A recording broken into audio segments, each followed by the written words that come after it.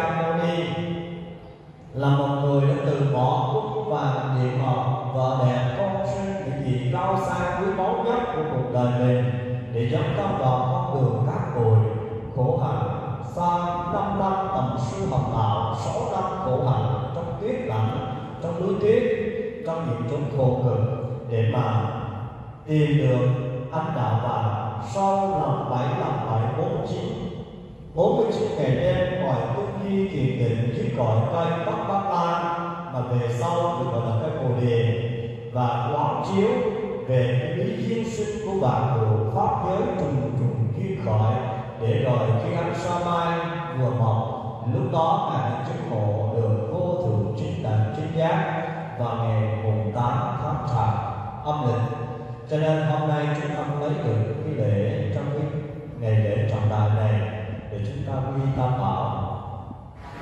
Phật ở đây đầu tiên là chỉ cho Đức Phật Tổ Sư Thích Ca Mâu Ni. Một bậc đã từ bỏ cũng và nguyện vọng những gì cao xa quý báu nhất của cuộc đời mình để đi tìm ánh đạo và giác ngộ giải thoát. Điều đó vô cùng quý báu. Trong khắp tất cả trời người cả thiên hà, hòn vũ, quả địa cầu này, không dễ gì tìm có một cái bậc như thế cho nên điều này hết sức là quý báu, quý giá. Phật được gọi là Phật bảo đầu tiên, Phật là chỉ cho Đức Phật Bổn Sư Thích Ca Mâu Ni. Khi ai có hỏi về Phật là gì, thì các Phật tử chúng ta cũng cần hiểu rằng Phật là một tâm giác ngộ, giải thoát hoàn toàn về ba phương diện tự giác giác ta và giác thành viên mà Tự giác có nghĩa là tự mình, tu tập chứng ngộ vô thường chính đẳng chính giác giải thoát giác ngộ giác ta là đem sự giác ngộ giải thoát ấy hướng dẫn tất cả mọi người để mọi mọi người được sự an lạc được sự giải thoát được gọi là giác ta giác thành viên mãn tức là bản thân của Đức Phật và những người đầy đủ hữu duyên với Ngài thì sẽ được khó độ, được giác ngộ. Cho nên được gọi là giác ngộ viên mãn. Phật là một đấng giác ngộ về ba phương diện từ giác, giác tha và giác hạnh viên mãn. Nên sau này, sau khi sống có thời gian thì các Phật tử có thể tìm hiểu sâu về Phật giáo để chúng ta biết đường, biết nói, tu tập tốt hơn vì thời gian có hạn cho nên ta cũng không có thể là nào mà giải thích được đầy đủ về ý nghĩa của tâm bảo một cách đầy đủ cũng giống như ý của năm giới, gọi là ngũ giới. Có a di đà, có đức phật diệu sư, có đức phật di lặc và hàng hà sa số chư Phật. Là ít nhất các Phật tử về thọ trì hồng danh sa nói thì chúng ta có thọ gần trên một trăm danh hiệu của Đức Phật. Hay là chúng ta thọ trì về lễ hồng danh trong lễ tam thiên Phật, tức là ba nghìn vị Phật, ba nghìn Đức Phật. Hay là trong các cái dịp mùa hạ và thường khi ta chư thường lễ đại hành trì thì chúng ta có cái độ Phật lại được gọi là vàng Phật, mười nghìn Đức Phật.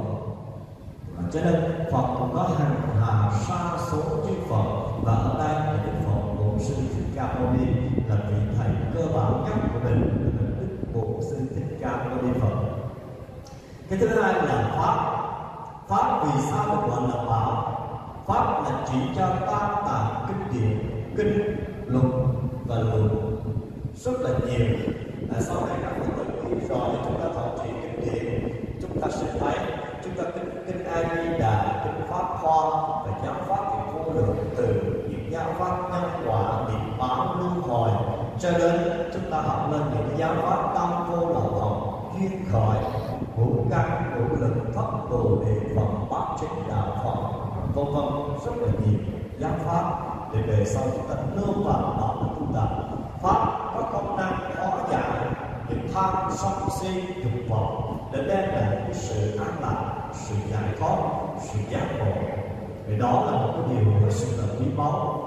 Tất cả những cái kiến thức ở thế gian có thể giúp cho chúng ta có kiến thức, nhưng mà không thể nào giúp cho chúng ta có được cái sự hóa giải trừ sự tham sân si mà nghi ác kiến tà kiến kiến kiến kiến thủ kiến cấm chủ của ông mà tam tạng kinh điển, kinh lục lộ nếu mà chúng ta có thể ứng dụng tu tập và tu tập tốt thì chúng ta có khả năng chuyển hóa được những tham sân si mà nghi biên kiến tà kiến kiến giải để mà có được sự an lạc trong tâm hồn có được sự giác ngộ có được sự giải thoát.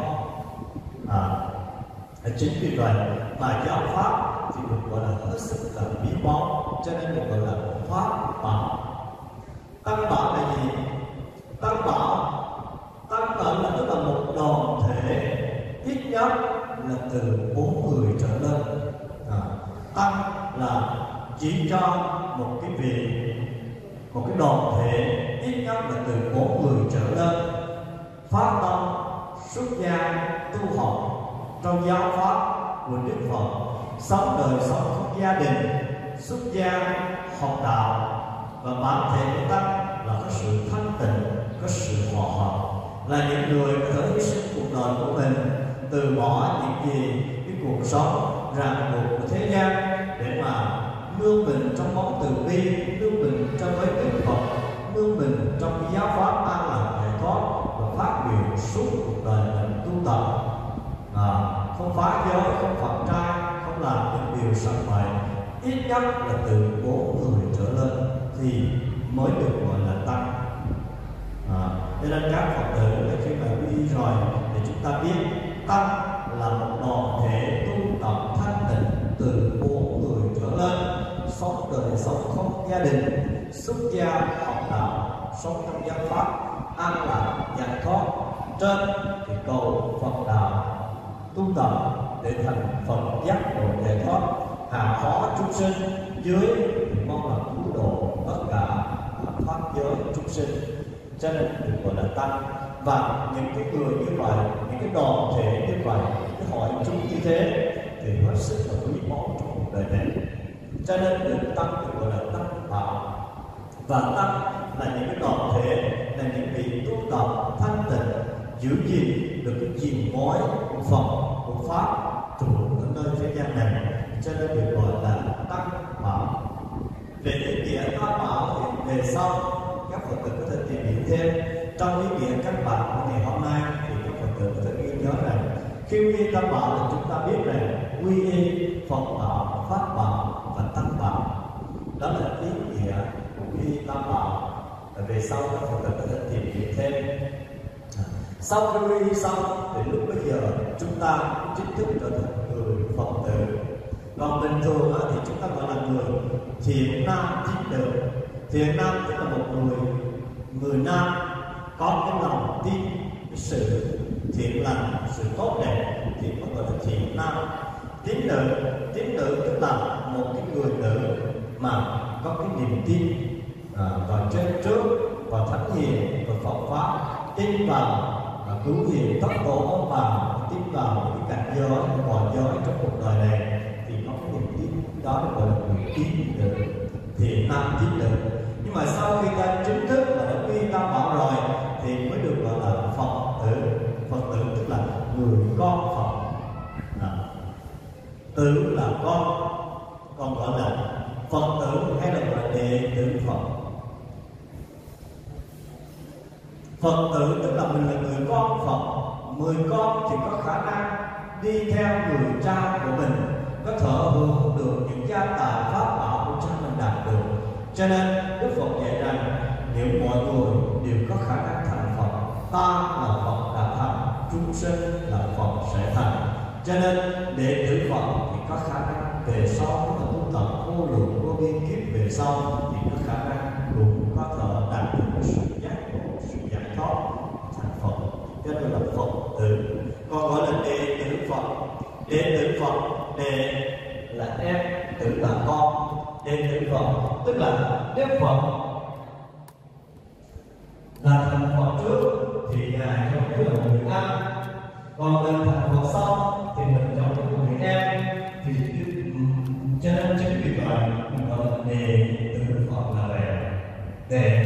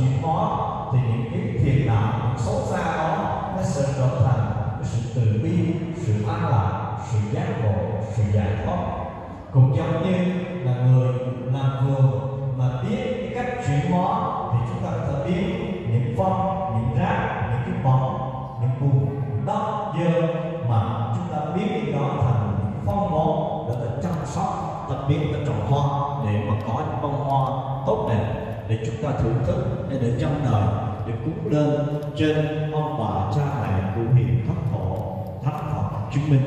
Là đó là sự chuyển hóa sự tu tập tu là sửa là chuyển hóa là à, những cái gì mà chúng ta tiến hóa trên cuộc đời này tốt đẹp thì cái đó mình gọi là tu. Tu là cái sự chuyển hóa là sự sửa mình. Giống như gọi là tu bổ cái xe đạp. Xe đạp mình hư thì mình tu bổ cho cái xe nó tốt hơn. Tu bổ cái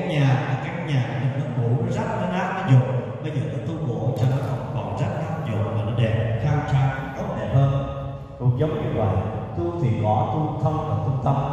Thân của mình thì tu mỗi ngày mỗi tốt hơn. À, cái tâm của mình là mỗi ngày mỗi trong sáng hóa giải tất cả những gì mà nó chướng ngại nó khổ đau để làm sao mà mỗi ngày chúng ta có sự tươi trẻ có sự an lạc có sự tốt đẹp trong cuộc đời này. Đó là ý nghĩa của quy y tam bảo. Và cái quy tam bảo thì chúng ta thọ trì năm giới.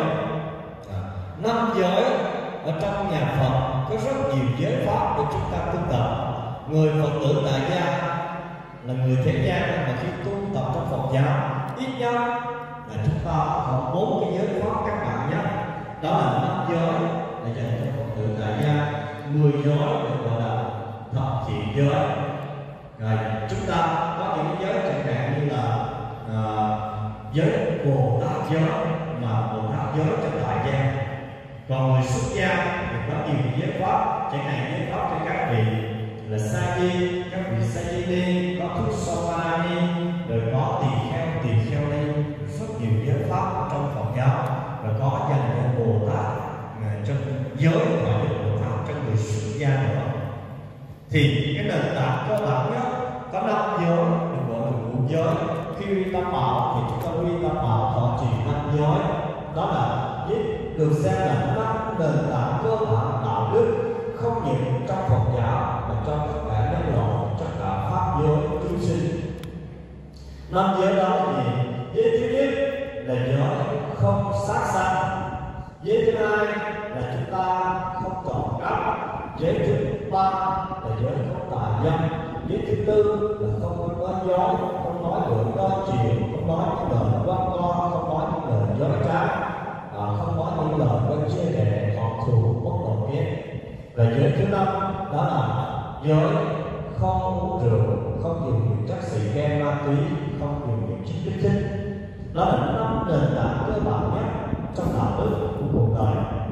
Cố nhiên rằng sau này các phật tử có thời gian tìm hiểu thêm cụ thể về năm giới à, trong một cái buổi hôm nay cũng thầy chỉ giới thiệu tổng quát thôi à, tại vì chẳng hạn như chúng ta nếu mà chúng ta nhìn hiểu về năm giới này thì cũng phải có thời gian. Đó là chúng ta hiểu rõ trong vòng mấy tiếng đồng hồ chứ không thể trong vòng 15 20 phút có thể nói hết được. Và thưa các phật tử giới có nghĩa là gì? Giới có nghĩa là là một trong những điều đó làm cho chúng ta thân tâm chúng ta được thanh tịnh giới trong Phật giáo được nhìn trong những cái tiếng Bali tiếng Phạn tiếng Ấn Độ của ngày xưa. Giới được gọi là Sila. Sila có nghĩa là thanh lương là thanh tịnh là an lạc là giải thoát. À, tại vì người nào mà giữ được cái giới thì chúng ta có sự an lạc có sự nhẹ nhàng không có vướng bận phạm vào những loại lầm thế gian chính vì vậy mà thông tâm của mình nó được sự thanh lương sự an lạc sự nhẹ nhàng giới trong nhà Phật cũng được dịch trong một trong những cái tiếng Phạn của đất nước của ngày xưa. Đó là Patimokkha Patimokkha thì dịch là ba la đề một so ba la đề một so có nghĩa là việc việc giải thoát. Việc việc giải thoát có nghĩa là nó chịu được phần nào? Giải thoát phần đó. Cho nên nhiều người ở thế gian rất là sợ. Nó thưa thầy, và mọi người làm sao mà con có tại thế gian thể hiểu được. Cái giới không phát sanh làm sao mà có thể hiểu được năm giới được? Thầy cũng hiểu được cái định của con. Ở nói đúng không? Rất là đúng.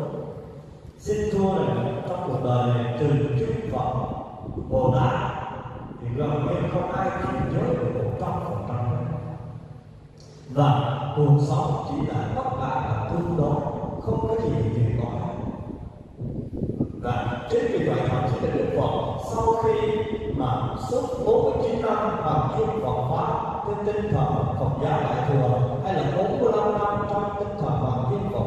giáo lý nguyên thị thì ngài cũng thể trạng kinh đức bảo ngài hệ trạng tâm chưa từng bỏ một lần. Sợ mọi người chấp vào trong đó mà không có được sự an lạc và giải thoát. Chúa là sẽ được tu tập. Cho nên, đến với Phật pháp hay là trong cuộc đời này, thế gian này, tất cả chỉ là tương đối giới có cái là biên biệt giải thoát, giữ được phần nào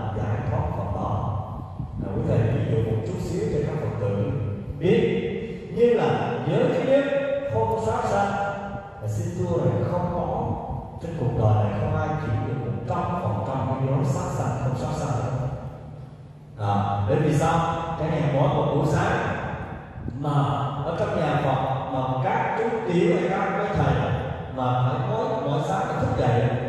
Mình nằm trên giường trên đơn mình bước trong sân giường thì đức phật người hành trì các chú tiểu các quý thầy phải được học giới luật phải học có đọc một câu chú một câu kinh, một bộ luật là tùy đi nhận dụng thiết yếu, tức là luật dùng cần thiết hàng ngày chẳng hạn như con kể đó sao? Con kể đó là tùng chiêu dần đá trực chiếc bộ để thiết chúng sinh tự đòi hồ những ương tốt hạ tám kỳ hình nguyện niệm tức thời sự động một người con Phật mà mới có sáng ra thức giấc là bước cái công xuống giường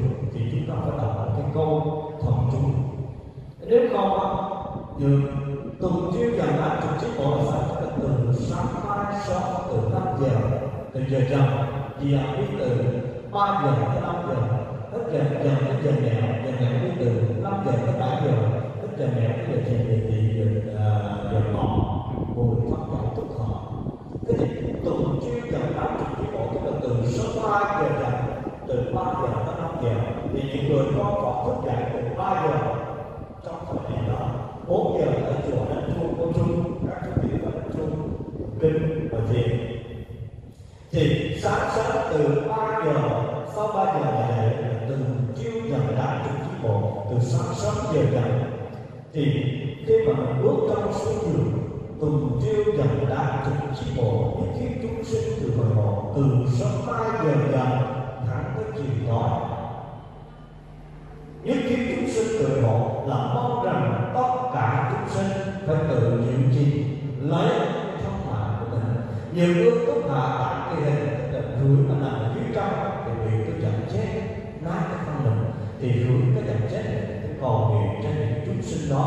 được siêu sinh về cảnh giới tự độ. Là một chút tiểu hay là một cụ thầy một vị hòa thượng là nếu là thực tập tốt, thì để mà tránh cái gió và giới sát sanh mỗi một sáng sớm khi thức dậy và bước cái chân xuống giường thì chúng ta phải khỏi một cái tâm lý được bồ tát đạo được cứu độ chúng sinh như thế. Chứ không thì chúng ta sẽ sát hại sinh vật và phạm giới. Rồi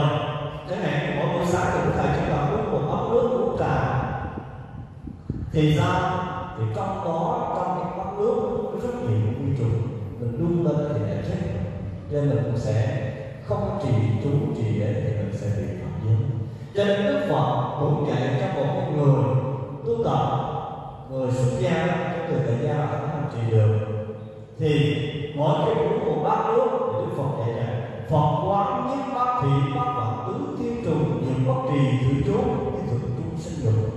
Đức phật dạy rằng bát nước có rất nhiều con vi khuẩn vi trùng nhất là ngày xưa. Ngày xưa là không uống nước lọc, uống nước bên sông bên suối đức phật có đi khắp thật, rồi xuống sông, xuống suối uống uống. Người xưa là như thế. Cho nên khi uống một bát nước thì trong đó có nhiều vi khuẩn vi trùng lăn quăng ở trong đó. Thì trước khi bát nước phật quăng nhất bát thì đức phật xem trong một bát nước có rất nhiều vi trùng phật quăng nhất bát thì bát là tứ vi trùng ở trong đó có rất là nhiều vi nhiều số lượng giống như là tám vạn bốn ngàn của vi trùng nhưng bất trì từ chú cái thực chúng sinh được nếu mà uống nước mà không trì chú thì do cái ăn thị chúng sinh. Cho nên người tu tập là nếu mà tu tập tốt, để mà hạn chế cái giới sát sanh, để công đức được tăng trưởng là mỗi khi uống nước, ăn cơm, ăn canh, phải trì chú để mà có phúc đức và để không có phạm phải giới sát sanh cho nên không có dễ gì người nào mà tu tập kiên mọt như vậy, thì may ra mới được được chín mươi chín mươi lăm phần trăm. Như thế không xa xa không dễ gì ngày nay là người đó thầy thầy con tu tập tốt lắm. Rất là thầy ở chùa mà họ chưa trồng rau được trồng rau sạch. Ở rau sạch là sao rau sạch là tưới nước cũng không bao giờ bón phân. Không bao giờ bón phân, không bao giờ xịt thuốc nó rất là sạch rất là tốt quý thầy, cố gắng ăn rau là tốt. Cái ra ngoài chợ họ ba cái rau nó về, là trong đó là ta uống thuốc rất nhiều, không sạch nhưng mà khi đem về là cái rau là không uống thuốc, không uống phân thì trong đó nó có gì?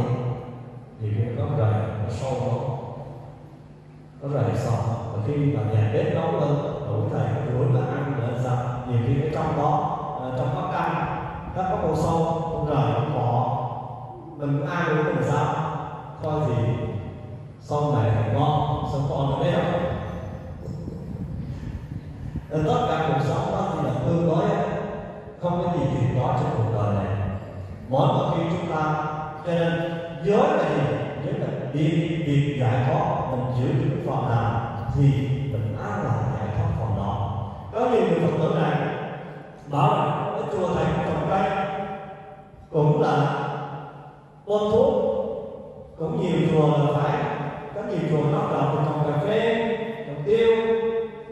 Rồi trồng hoa rất là nhiều trồng rau thì chỉ cần phải bón lúa, nhiều chùa có ruộng lúa như miền trung nhiều chùa có lúa gạo thì phải trồng lúa. Nhiều khi phải bón phân phải bón thuốc. Thì làm sao mà trồng được cái nó sát sanh? Ước thầy trong chùa cũng chịu được. Thế con là người ở tại thế gian làm sao mà thầy bảo không chịu được trọn vẹn cái giới kiến được. Xin thưa đại chúng không ai chịu được trọn vẹn. Chỉ có chư Phật Bồ Tát thì mới chịu được trọn vẹn. Nhưng mà giới có nghĩa rằng là tiên việc giải thoát mình chịu được phần nào thì mình giải thoát được phần nào. Ví dụ, mình ví dụ cho nó dễ hiểu. Giới thứ nhất là không sát sanh. Ai mà chịu được trọn vẹn của giới không sát sanh này thì được hưởng một trăm triệu đồng. Ví dụ cho nó dễ hiểu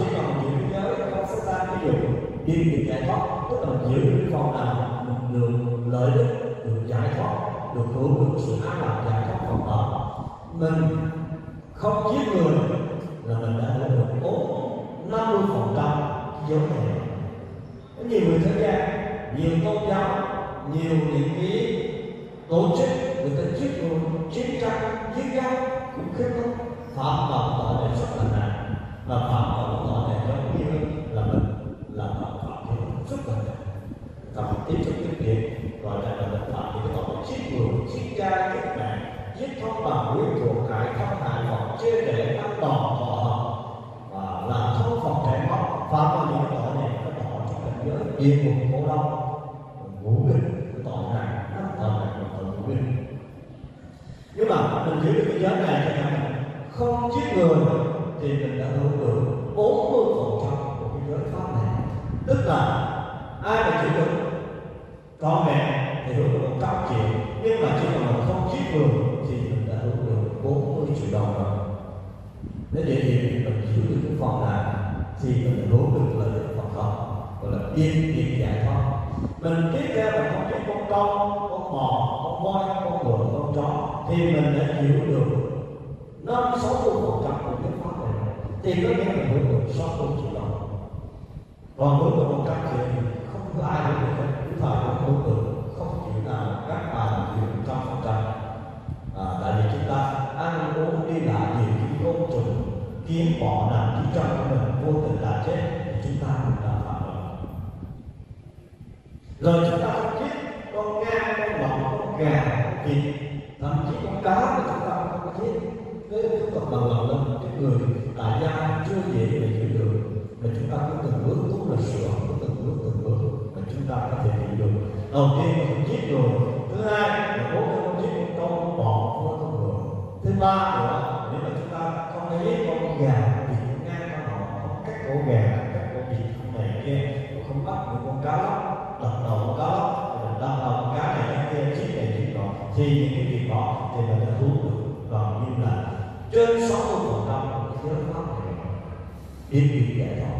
Chịu được phần nào ta làm để thành phần nào còn nếu mà chúng ta xác định thật tốt nữa chúng ta không giết cả con cá, con vịt con ngan, con bò, mà tốt tới mức độ giỏi thậm chí là con ao nó chết mình mình đuổi đi, con mũi nó nó cắn mình mình có thể đuổi đi kiến nó chết mình mình có thể phủi đi không giết nó và thậm chí mình còn phát tâm mình mua cá mua chim, nếu mà gặp những cái loài này và kia mình đang bị trang trọng đang bị giết hại, và trong cái tầm tay của mình nếu chúng ta có điều kiện thì chúng ta có thể đem phát tâm mua những chi mua vật đó và mà cứu họ để mà thoát sanh, để làm một điều đó.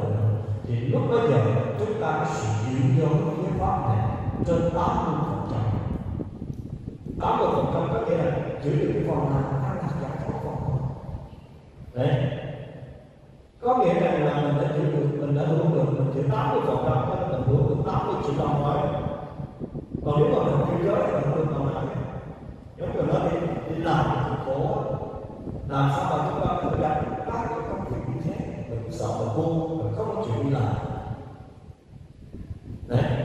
Thì số một người mình không có hướng được đồng lương nữa không hướng được một công đức nữa thì cũng giống như thế. Chịu cho là sự vô không ai cũng chịu trọn vẹn cho dù là một vị thầy, một bậc hòa thượng ở trong chùa đi nữa, cái chuyện đó tốt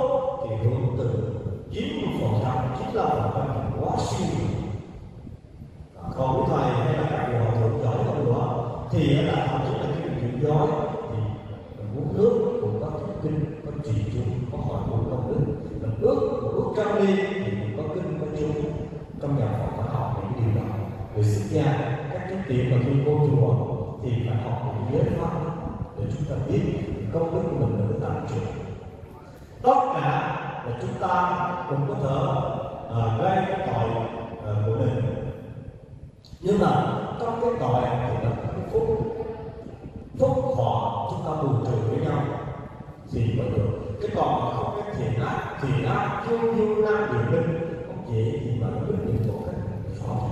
nhưng mà cái sự một cách sự chuyển hóa thì chúng ta làm được. Ví dụ, một cái người mà chưa đi về chùa, chưa học Phật pháp, chưa biết tu tập, người ta trồng chanh cây chanh leo, trồng lúa, trồng gạo, hay là làm những cái công việc đoàn lại, nói vậy thì như thế. Mỗi một cái, nhất là bây giờ trồng chanh cây, thì thông thường chanh cây trên leo nghe nói là gần như tu nào phải bơm thuốc sâu. Ba ngày, năm ngày phải bơm thuốc. Để đến trường thì những sâu bỏ thì những người chưa tu tập tốt người ta chưa biết Phật pháp, chưa biết kinh điển, chưa nghiên cứu gì, chưa biết, thì mỗi một khi mà người ta bơm thuốc, người ta bón phong thì ta mới ta khỏi được cái tâm. Nó chưa biết tu mà nó khỏi cái tâm, nó sân si, nó bực tức. Mỗi một khi ta bơm thuốc ôm chân dây ôm chân leo ôm lúa gạo thì người ta ôm, nhưng mà người ta ôm là trong chút bầy nhé. Các sâu bọ này nó phá trong cây, chân leo của nhà bà. Và các loại sâu bọ này nó phá cà phê, phá lúa gạo của nhà ông. Ông phải ôm trên chút bầy chết khỏi còn lại luôn. Chết càng nhiều càng tốt ông bà bắt đầu thậm chí tôi vui trong quá trình ôm chân chết thì cái đó thì người ta người thì nó nặng cái câu, cái bò thì không biết gì nó nặng nó tùy theo cái cái lời là giống như là bị phạm nói để thì cái giống như mình bị phạm cái luật này đầu tiên có phạm có khi có phạm cả trăm triệu đồng. Mà có những cái lỗi phạm thì người ta chỉ phạm được ờ, hai trăm, ba trăm nghìn cái thôi. Nhớ nó tùy theo mức độ mà chúng ta phạm là thế là nhẹ sau bỏ thì rất là nhẹ. Thì người thứ gia còn cái mà ôn thuốc có tu thì sẽ gọi tham song tâm si tâm bực tức à, phá lúa phá mạ nhà ông phá chân cây chân đen của nhà bà phá này phá cây chân ta ôn thuốc ôn cho ta chết rồi chết cả càng nhiều càng có có tội phạm nhưng mà một cái người phật tử hay thậm chí là một vị thầy thầy nhiều khi các chùa nhà quê cũng thầy cũng trồng lúa nhiều cái cũng nhờ phật tử hay là khi mà trong vai cũng thầy phải bón nhiều khi nhưng mà người phật tử hay là một người là đi tu, nhưng mà phải được quân thuốc hay là bỏ phật. Cái điều là có hay là không? Nhưng mà mình biết tu tập là mình quân thuốc mình bỏ phân là mình khỏi một cái tâm từ bi đầu vì cái điều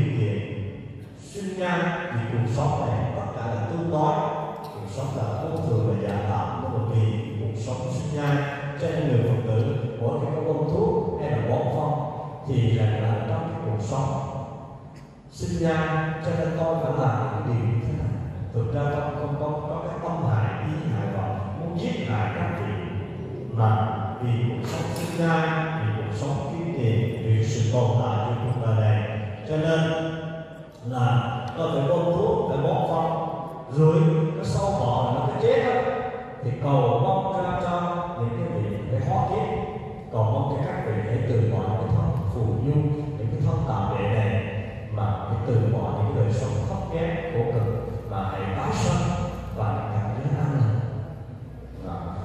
thì nó từ bi như vậy.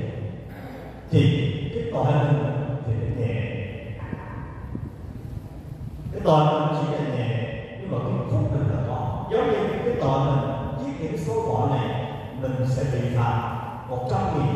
Nhưng mà cái công đức của mình không có từ bi ra, thậm chí mình niệm phật, niệm kinh, niệm chú, trì chú bảo sanh trì chú cứu ta các cường thần chú, hay niệm quan bồ tát, hay niệm đức phật a di đà, tiếp nhận về những chúng sinh này được sinh về những cảnh giới an lành thì cái phúc đức mình được hưởng một trăm nghìn. Nó thể hiện gì tất cả là phải phạm đã bơm thuốc đã giết hại thì mình phải phạm nhưng mà cái công đức mình niệm phật, cái công đức mình trì chú, công đức mình khởi cái tâm từ bi, thì lúc bây giờ mình có phúc đức phúc đức đây giống như bây giờ mình làm mình làm một trăm nghìn mà mình chi phí trong cuộc sống mình khoảng chừng hai trăm nghìn thì mình có lại chứ còn nếu là không có khỏi tâm từ bi những người thế gian không biết khỏi tâm từ bi không biết niệm kinh, không biết niệm phật, không biết trì chú thì người ta bị phạt hai chục nghìn, bị phạt là ba chục nghìn, hay là mười nghìn nữa nhưng mà họ không có công đức được tạo ra. Là lúc đó họ khỏi không sân không sinh sâu bọ này, nó phá lúa phá bà, phá chân phá dây, phá lên, bà, thì bà phải vô cho chuẩn bị chết là khỏi cái tâm sinh sinh như thế trong cái mình lúc này không có cái tội mình nó là phát sinh cho nên cái sự khác biệt giữa một người tu và không tu là ở bên cái điểm này. Để các phật tử chúng ta lưu ý. Thế thì qua cái giới thứ hai giới thứ ba và giới thứ tư thứ năm thì xin thưa không ai giữ được trọn vẹn hết à, một cái điểm thứ hai là không có trộm cắp. À, thứ ba là không tà danh tà danh là người phật tử chúng ta mà khi họ trì cố gắng mình sống cuộc sống thế gian thì có và các vợ các chồng người này người kia.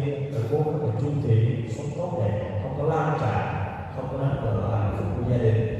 Phá phát hạnh phúc của người khác thì tất cả những việc đó thì cái nền tảng của những thứ ba. Nó tốt đẹp cho cái cuộc sống mình, tốt đẹp cho những người khác và tốt đẹp cho tất cả mọi xung quanh. Đó là nền tảng của những thứ ba. Ý thứ tư là nếu không nói dối phạm trù của giới không có dối có bốn phạm trù chính. Thứ nhất là không. Chuyện có có không chuyện không có có nên là dối thứ hai là không nên nói chuyện gì thiên mong, thiên muốn. Cái chuyện của bà hai, bà ba mà nói một chút mà mình nói là cái bà nói chuyện của mình thiên dân, thiên mong nó chi cũng định thôi chuyện của bà hai, bà ba mà nói trong thành, bà tám bà chín nên thiên mong nó làm cho ly giác nó một chuyện không tốt. À, thứ ba không có nói tục tiểu gì. Không nói những lời thô thấp thô tục. À, và cũng không nói những lời tóc bị thấp tóc bị gạo nói những lời ác nói lời châm chích nói là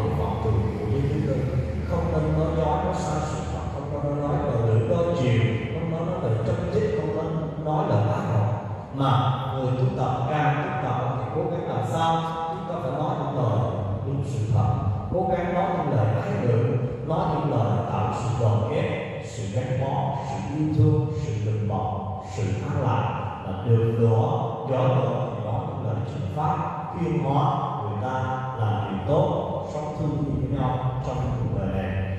Đó là phạm trù của cái giới thứ tư. Và giới thứ năm, là giới không uống rượu phạm trù không uống rượu thì chúng ta không nên uống những chất gì? Chất kích thích. Là bia là rượu là những chất kích thích chỉ ke ma túy thuốc phiện. À, tất cả đều là tương đối mình phải biết. Chứ mà không nên chắc chắn và hiểu cái giới thứ nhất cũng vậy.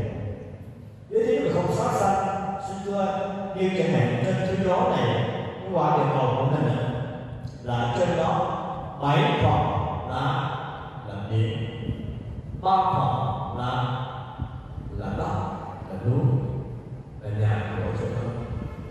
Thế thì tới phải bảy mươi phần trăm bảy phần phần lớn người ta sống trên biển.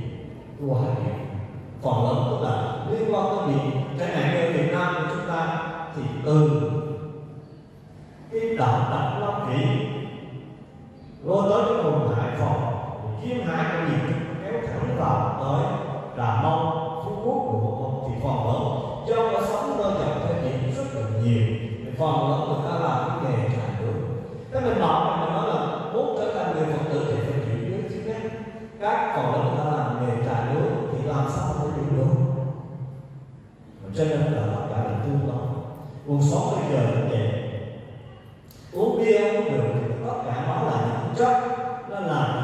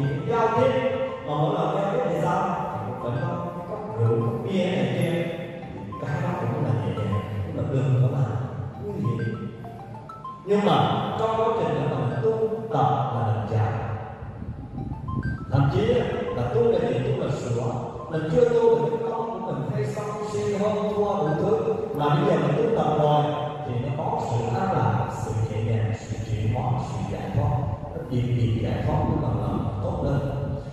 Mình phải tìm cách tích cực như vậy với thứ năm mình là một người còn như là là chồng là vợ này kia, cháu biết bình thường mình chưa thường cũng là mình chưa hiểu gì với thứ năm mình cũng sợ. Một tháng một ngày, mình uống nhiều kiểu cái thùng bia cái gì cũng cái năm lon, mười lon.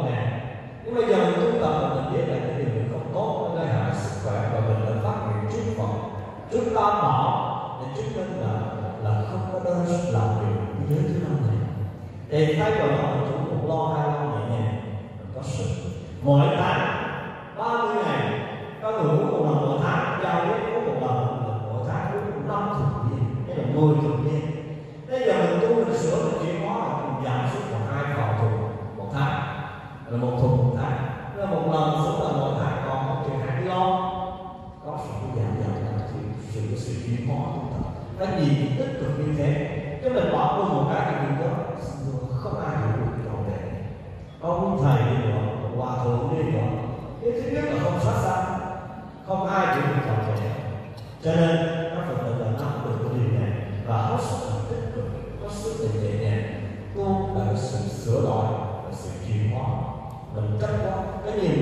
là tốt, nhưng mà tu tốt rồi tự mình cắt vào của mình.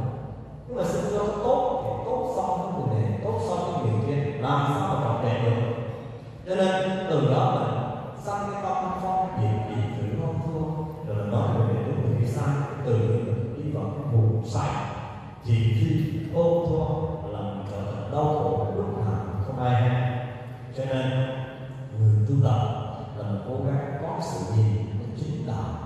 có sự nhìn nó trong chính, hiểu biết nó đúng đắn nó trung dung đó chính là con đường trung đạo. Con đường trung đạo. Trong khi nên là đức phật, ngài là đức phật bổn sư thích ca mâu ni.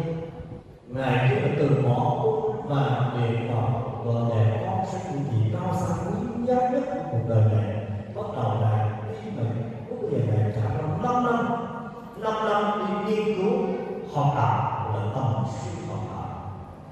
nhưng mà năm năm đó cũng không có một cái vị thầy nào mà đỡ là chỉ kiến thức suy nghiệm rồi có sự an lạc giải thoát cho nên ngài quyết định thực tập 6 năm khổ hạnh Là ờ, trải qua 6 năm thực hiện những cái phương pháp yoga huyền bí của đất nước Ấn Độ à, trong những đạo những triết lý của Upanishad về những cái chương trình nhu dàng về những cái phương pháp ép sát của hạnh bậc nhất. Nhưng mà là gì tất cả là những cái điều đó. Là cái sự chết sắp tới đó cho nên sau đó ngài quyết định từ bỏ và đi theo con đường trung đạo và ngài kể rằng, trên cuộc sống này muốn tu tập an lạc, muốn tu tập được sự giác ngộ, muốn tu tập được sự giải thoát, thì phải đi theo con đường trung đạo con đường trung dung con đường đó tránh xa hai cái thái cực. Một cái thái cực là vô luôn trong việc làm giống như ở tại nơi lúc mà ngài còn thì thái tử ở tại thế gian, thì vua cha tịnh là đã xây ba cung điện cho ngài, bốn cung điện cho ngài, một cung điện mùa xuân, một cung điện mùa hạ, một cung điện mùa thu và một cung điện mùa đông, để cho ngài hướng thọ hiện tại và tại đó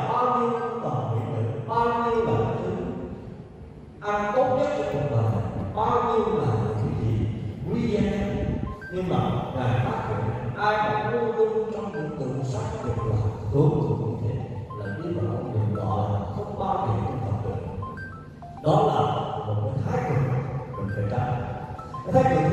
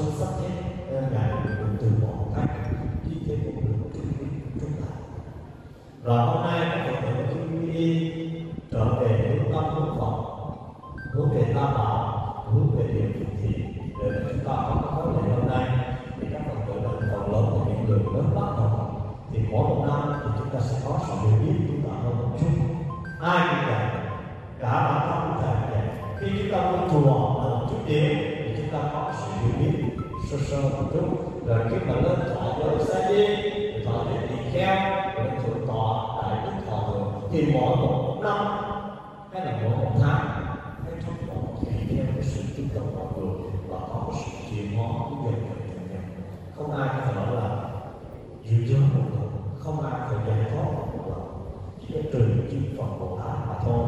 Thành thử ra, các Phật tử cố gắng tu tập thì chúng ta hiểu cái điều đó hết sức là nhẹ nhàng. Đừng có nên trách, đừng có nên không thua, mà cứ cố gắng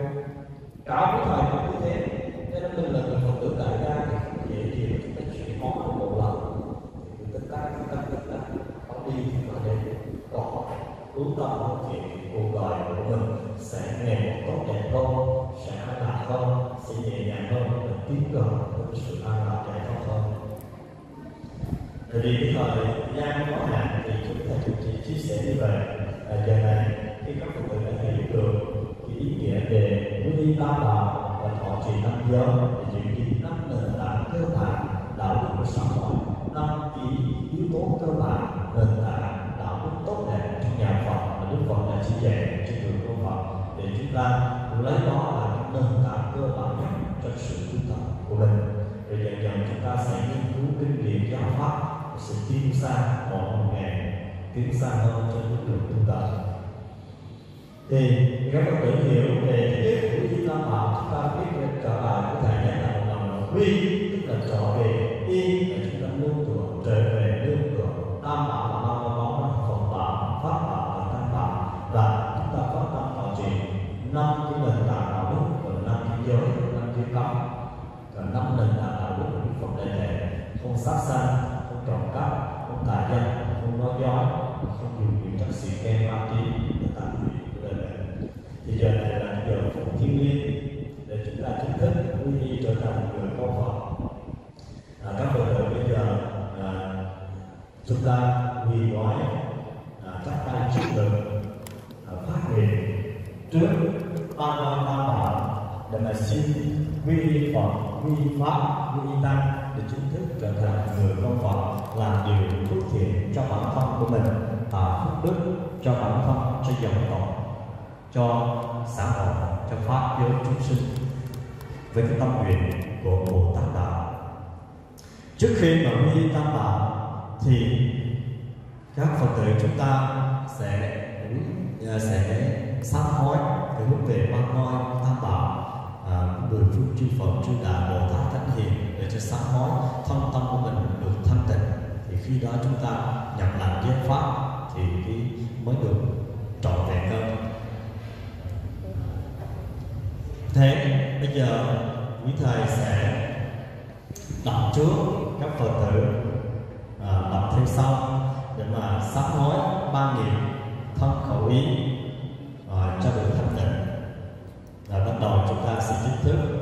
Trì giới pháp. Các phật tử quỳ gối chắp tay đôi mắt nhắm lại hướng về à, mười phương chư phật chư đại bồ tát chư thánh hiền tăng để sám hối cho thông tâm được thanh tịnh để trước khi thọ giới. Quý thầy đạo trước các phật tử đọc theo sau.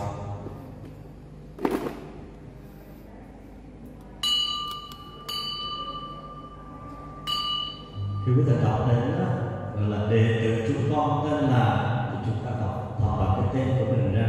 Chúng ta đọc ví dụ tên là ờ, Tròn văn nam hay là nguyễn à, thị đi chúng ta sẽ đọc tên của mình ra. À, chúng ta lưu ý.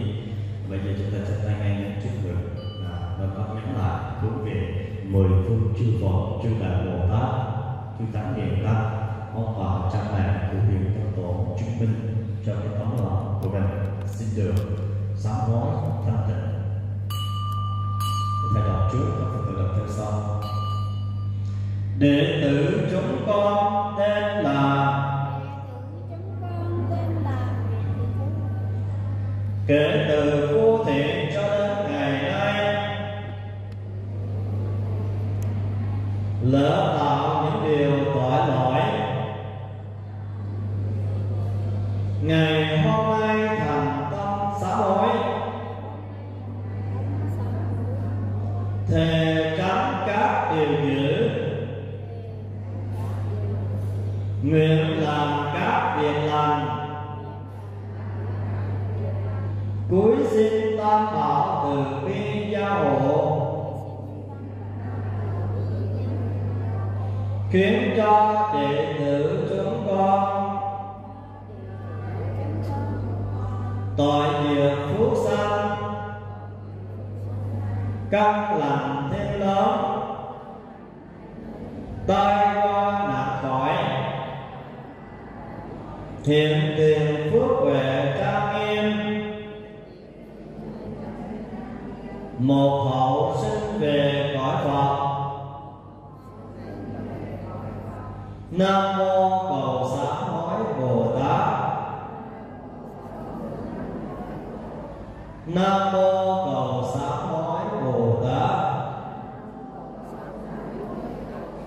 nam mô cầu xã hối bồ tát ma ha tát. Lại số ba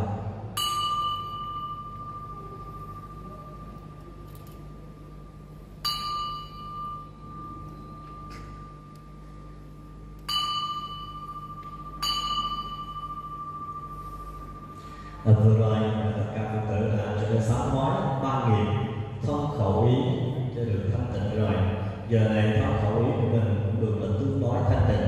Thì chúng ta phát hướng tâm về mười phương chư Phật, chư Đại Bồ Tát, chư Thánh Hiền Tăng để phát hiện chúng ta quy y trở về nương tựa năm ngôi báu Phật pháp tăng. Trước thì chúng ta cầu mong cái sự gia hộ của người phương chư Phật, chư Đại Bồ Tát, chư Thánh Hiền Tăng để cho à, chúng ta được sức khỏe, được bình an, được vượt qua những trong gai thử thách của cuộc đời này và sau đó khi mà chúng ta biết được Phật pháp chúng ta nghiên cứu tu tập, thì chúng ta sẽ học Phật, tu Phật để mọi việc càng tốt đẹp hơn. Giờ này là giờ phút thiêng liêng chính thức quy y tam bảo, cầu nguyện chư Phật, chư Đại Bồ Tát, chư Hiền Thánh Tăng chứng minh để cho em Phật tử chúng ta quỳ gói chắp tay hướng về ba mười phương chư Phật, chư Đại Bồ Tát để chứng minh cho tấm lòng thọ giới chúng ta sẽ đọc trước. Phật tử đọc theo sau. Khi đọc đến đề tử chúng con tên là chúng ta đọc tên của mình lên, các Phật tử đọc cuốn đọc cho lớn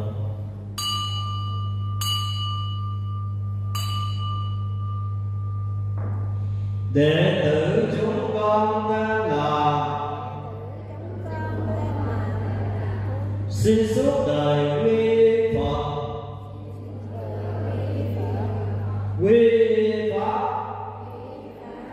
quy ta đệ tử chúng con tên là xin suốt đời quy Phật. Quy Pháp quy ta đệ tử chúng con tên là xin suốt đời quy Phật quy Pháp quy tâm là số ba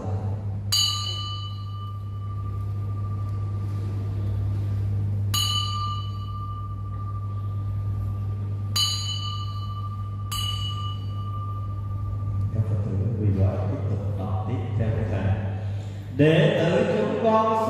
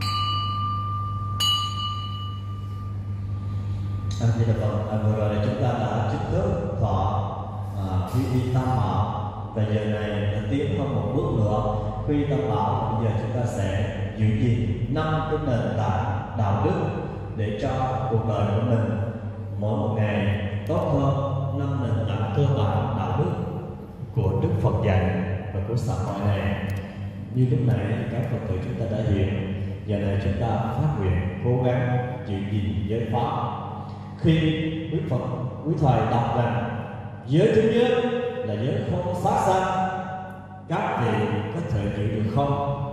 Thì phần lớn là đã là, giới không sát sanh thì chủ yếu chúng ta không có giết người, không có giết con trâu, con bò, con voi, con ngựa, con vật là chính.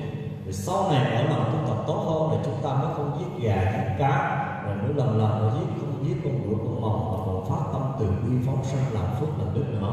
Thành thử rằng là khi rằng đối thở là giới thứ nhất là giỏi không sát sanh các vị giữ được không? Thì mình đáp là mô phỏng con chịu được chỉ trừ những cái người nào mà đang làm nghề mà giết trâu giết cái bò hay là làm cái nghề trải lưới hay là những nghề u cá và làm này việc này kia thì chúng ta đáp rằng là mô phỏng con cố gắng. À, tại vì mình đang làm cái nghề trải lưới đang làm bát gà bán vịt mình giết này giết kia mà mình nói là mô phỏng giữ được thì không đúng. À, nó nó gió không tốt. Nhưng mà mình đáp là mô phật con cố gắng. Con cố gắng có nghĩa là sau này con đang làm nghề đồ tể làm nghề trại lớn mà con cố gắng sau này con làm được cái nghề bác sĩ làm nghề kỹ sư hay buôn bán bất sản việc này việc kia thì con sẽ chuyển nghề. Con không có làm nghề giết hại sinh vật lúc đó con cố gắng con sẽ tìm cách con chuyển nó chuyển cái nghề của con đi. Thì gọi là mô phật con cố gắng. Còn lại những ai mà không có làm cái nghề sát hại sinh vật đó, thì chúng ta đọc là mô phỏng con chịu được. À, nghe quý thầy đọc. Giới thứ nhất là giới không sát sanh các vị có chịu được không, thì mình đã là mô phỏng chữ được. Chỉ trừ những cái người làm cái nghề sát sanh còn phải làm, thì chúng ta đọc nói là cũng thầm đọc, mô phỏng con sẽ cố gắng. Một phần lớn là là mô phỏng con chịu được. Các cái giới còn lại cũng như thế, các phật tử, chúng ta bây giờ À, nhiếp tâm giờ phút tiên liên nhiếp tâm thân khẩu ý thanh tịnh hướng về mười phương chư Phật, chư Thánh Hiền, chứng minh. Bắt đầu chính thức dự gìn phát nguyện dự gìn giới pháp. Với thầy đọc trước các Phật tử đáp là sao?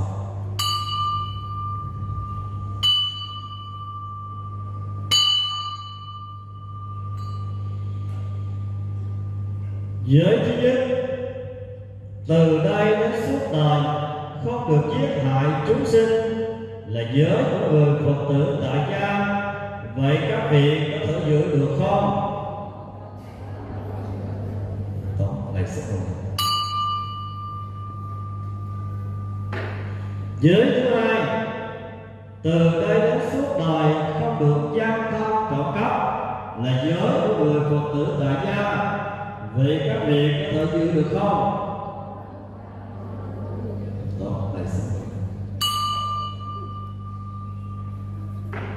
Giới thứ ba Từ đến suốt đời không được tà gia Là giới của người Phật tử tại gia việc các vị có thể giữ được không?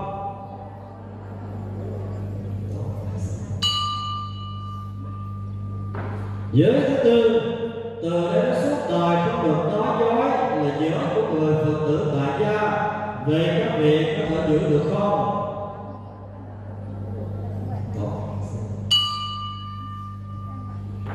Giới thứ năm Từ đến suốt đời không được uống rượu Là giới của người Phật tử tại gia về các vị có thể giữ được không? Tốt, là sẽ không các chị và Phật, thì như vậy vừa rồi và các Phật tử chúng ta đang ngồi xuống. Vừa rồi thì chúng ta đã phát nguyện quy y tam bảo, quy y Phật, quy y pháp tăng, cầu sự gia hộ của người phương chư Phật trở về nương tựa Đức Phật tánh sáng suốt của mình, trở về nương tựa với giáo pháp an lạc giải thoát, trở về với y nương tựa nương tựa